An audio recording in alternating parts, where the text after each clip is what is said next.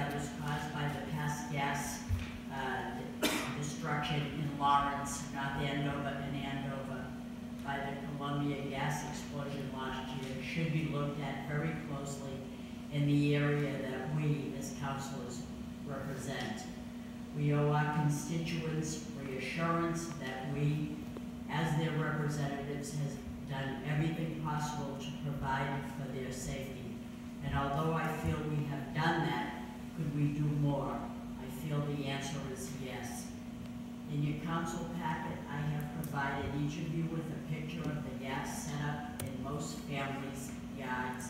I also have this device that I'm looking at. Um, But I understand that there is no pressure valve on customers' gas lines now, but there is a reg- regulator which slows down the pressure very slightly gives us no warning. So I assumed that, I assumed that, that there was a gas valve, but actually there was not, is that regulator. But what I am proposing is something more, and it is called a GPW. It's a gas pressure whistle.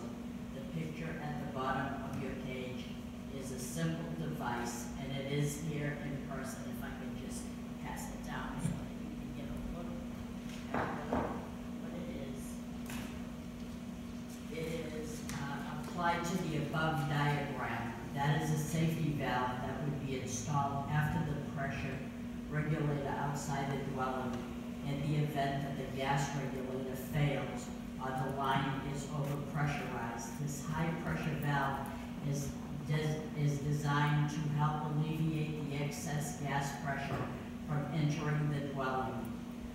It will release the gas into the atmosphere and sound an alarm to warn occupant, occupants of the dwelling to evacuate and call 911.